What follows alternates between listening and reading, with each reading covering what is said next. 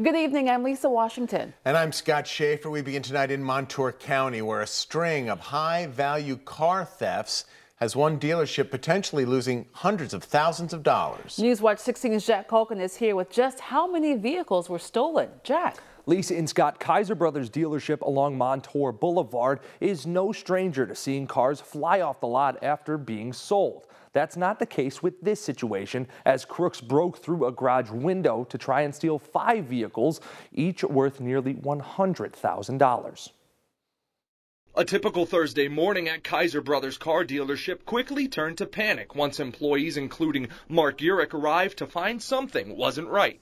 We were coming in doing our normal lot walk and we kind of noticed that our bay door open was open um, and we ended up having a couple of our high-end performance vehicles missing. Pennsylvania State Police say at least four people broke into the Montour County dealership's detailing garage around 5 in the morning, smashing a window and stealing three high-performance vehicles similar to the one shown.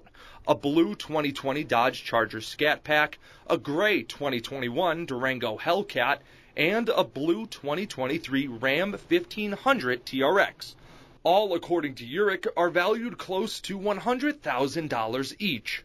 Close to $300,000 in inventory off three vehicles. Um, it's unfortunate because we really try and get these vehicles out to the community. We like serving our local community here, and to have them stolen right out from under us is, you know, really unfortunate here for our business.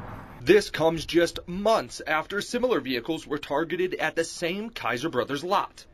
The first time they came through, we did have them on the lot, and once the state police made us aware of it, that you know these high performance vehicles that we sell here at Kaiser Brothers were being targeted. Um, every night we'd bring them into our dealership, into our locked doors, and this time around they actually were brazen enough to break into the actual building. Urich says the dealership plans to follow the advice of state police to beef up security even more to ensure this never happens again.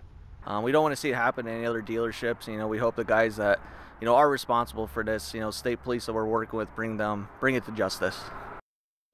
Staff did tell us that two other vehicles were almost stolen, but they say that they don't think the thieves knew how to drive a manual.